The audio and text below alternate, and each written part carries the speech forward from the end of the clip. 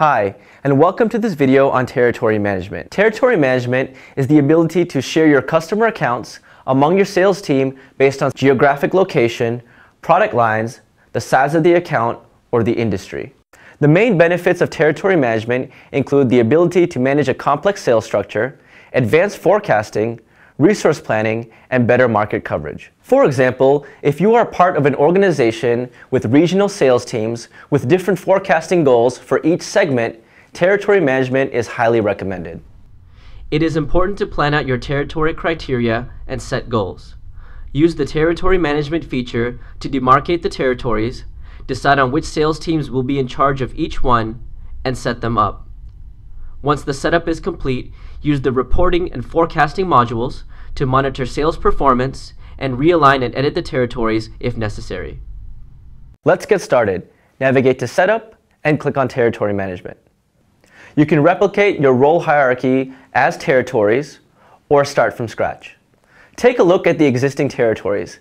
In this example, Xylem Incorporated has territories in America, Asia Pacific, and Europe and Middle East. Within each territory, there is a sub-territory and a territory manager. To create a new territory, click on Plus New Territory, name it, and select one of your users as the manager.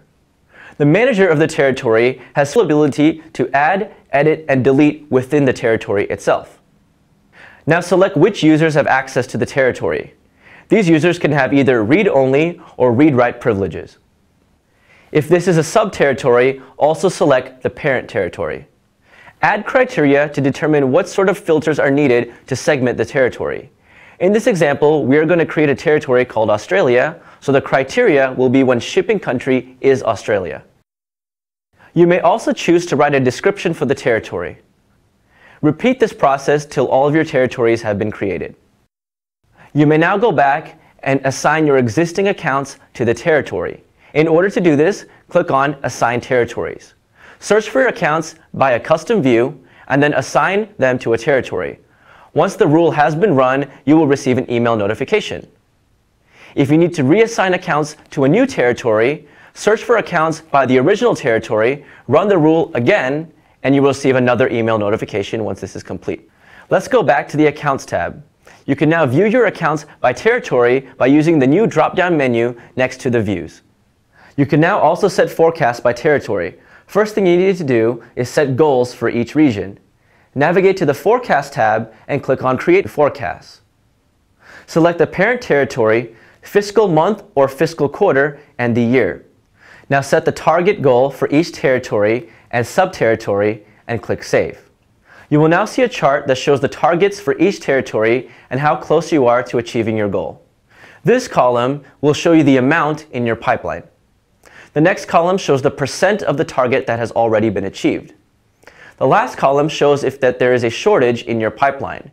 You could also run reports and create dashboards by territory. Navigate to the Reports tab and you can view any of the new predefined territory reports or create one from scratch. In the Dashboards module, you will also see a territory dashboard that can be further customized. We have now seen how to segment your accounts by territory and use the forecasting feature. I hope you found this video helpful.